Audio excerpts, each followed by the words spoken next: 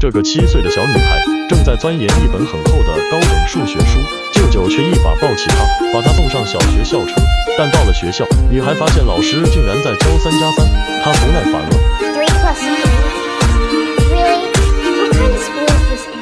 老师有点生气，让女孩站起来，问她。What is 15 plus 17? Thirty-two. 老师的笑容僵住了，接着他又提高难度，又算对了。老师很惊讶，这次他再次提高难度。What? 57 multiplied by 135? 这次女孩没有马上回答，但老师刚准备继续上课。老师不敢相信，立即拿起计算机，答案正确。老师惊呆了，他决定试探一下女孩。第二天考试，老师卷子还没发完，女孩就已经答完了。老师早有准备，又给她拿来第二套试卷。不过这次不再是简单的算术题，而是高中难度的函数题。女孩依旧很快答完。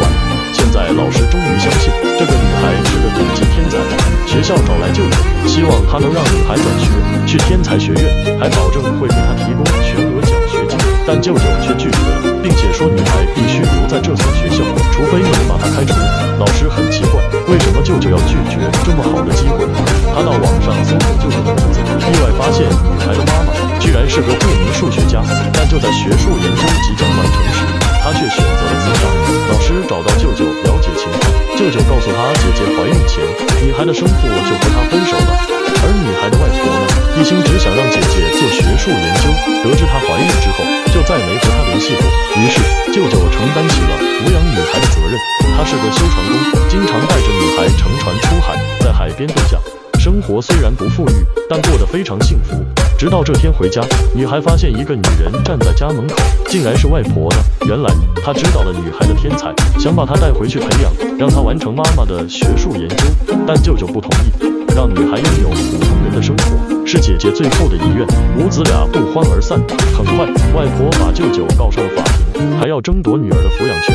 第一次庭审，外婆争取到了探视权。一个周末，外婆把女孩带到麻省理工，这里有全球最顶尖的数学学院，还带着女孩去见数学系的教授。为了考验女孩，教授特意准备了一道难题。看着黑板上的题目，女孩久久没有说话，教授有些轻蔑。外婆很生气，拉着女孩离开教室。但这时，女孩告诉外婆说，不是她算不出，而是题目错了，甚至她已经算出了答案。这堆密密麻麻的深奥数字，全是这个七岁小女孩写的。台下是世界最高学府的教授，女孩太矮，只能站在梯子上写。教授慢慢变得目瞪口呆，因为他没想到自己故意写错顶级难题，女孩竟然能改正题目，还算出了正确答案。这就是一个天才少女。奇怪的是，女孩的舅舅却不喜欢她学习，发现她在做题，还把她从桌子前抱走，带她去海边看日落。女孩像树懒一样在舅舅身上爬来爬去。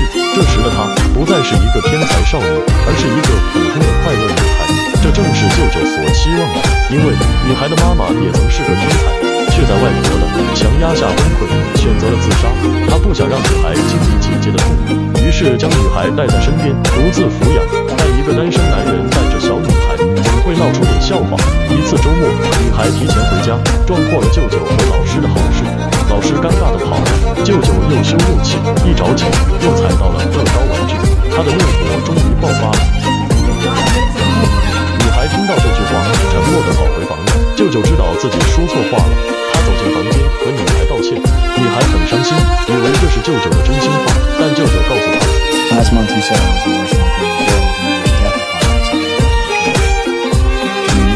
这是这个舅舅身上最值得学习的地方，当你以平等的态度去对待孩子。孩子也会以最真诚的爱来回报你。外婆发现女孩是天才后，继续上诉，希望争夺女孩的抚养权。法院安排了儿童机构来评估。调查员问了许多问题，女孩有些不耐烦了。她对调查员说：“舅舅是个好人，我想和他一起住。”调查员问她为什么，女孩说：“我的女孩很清楚，舅舅喜欢的是她，而外婆喜欢的只是她的天才。一次庭审，外婆为了抢到抚养权，找来了女孩的生父，这个从来没有见过女孩的男人，要把女孩的抚养权给外婆了。但好在舅舅的律师很厉害，向法官证明了生父从没尽过一点责任，没有指定女孩抚养权的资格。回到家，舅舅没有隐瞒，告诉女孩，今天你的生父出现了。女孩很伤心，她不知道为什么生父不愿见自己。舅舅沉默了一下，带上女孩来到医院，他们待了很久，直到深夜，产房里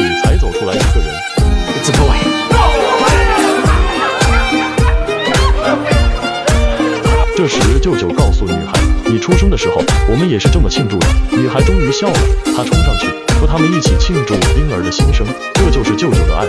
虽然他没有钱，却愿意用任何方式让女孩感受到，无论她是什么样的孩子，他都会永远爱她，给予她家庭的温暖。但外婆依然不放弃。为了得到这个天才的女孩，很快她提出了第三次诉讼，而这场争夺女孩的官司也逐渐变成了母子俩的互。这个妈妈把儿子告上了法庭，为了争夺天才少女的抚养权，他们彻底撕破脸，互相狠戳对方痛处。儿子的律师拿出医院证据，你把女儿逼到企图自杀，甚至在她死后从来没看过外孙女。现在你凭什么来抢她的抚养权？妈妈的律师说，你现在又穷又没有资源，怎么给她提供更好的未来？然后他步步紧逼，甚至说舅舅把女孩送到这种小地方上学，是嫉妒姐姐的才华和名声，为了报复他，故意埋没女孩的才能，剥夺女孩的未来。最后，律师说 is your continued guardianship really in the best interest of the children? 舅舅沉默了一下，说。Yes. 但晚上看着玩耍的女孩，舅舅叹了口气。其实现在他也开始怀疑了，他只想遵循姐姐的遗愿，让女孩过平凡快乐的人生。可这样真的更好吗？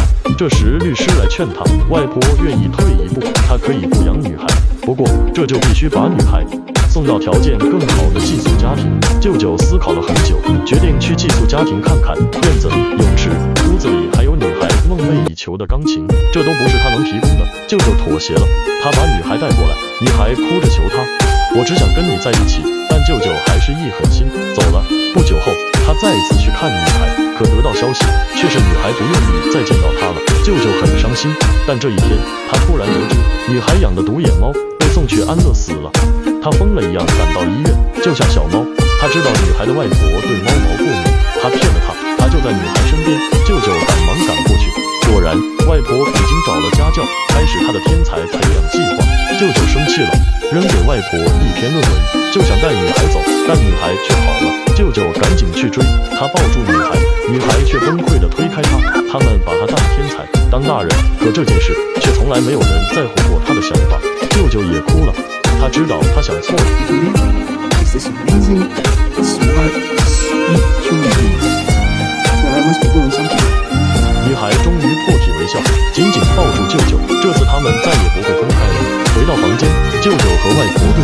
但这一次外婆不再强硬，因为舅舅给的论文正是女孩妈妈的研究课题，而且他已经完成了。外婆不理解，那他为什么不发表？舅舅回答：为了报复你，他要求在你死了以后再发表这篇论文。外婆愣住了，她从没想过女儿会这么恨她。舅舅跟她谈判，外婆去发表这篇论文，而女孩由他来照顾。外婆犹豫了，但最终还是选择了论文。舅舅带着女孩走了，而外婆一边打电话给研究院，一边开始翻看手稿。突然，她呆住了，女儿的手稿上每一页都带有泪痕。这个一直强硬的女人开始失声痛哭。这一刻，她终于明白自己强加在女儿身上的期望究竟对她造成了多大的伤害。但很快电话接通，外婆立刻变得理智，开始和教授讨论发表的问题。最后，女孩的生活还是改变了。白天参加大人的数学研究，放学后再和同龄的朋友一起玩耍。但这不是满足外婆的心愿，也不是实现舅舅的愿望。女孩是活成了她自己的样子。学习和娱乐从来都不是对立的，尊重天性，加以引导，你就会慢慢发现，每个孩子其实都是天才。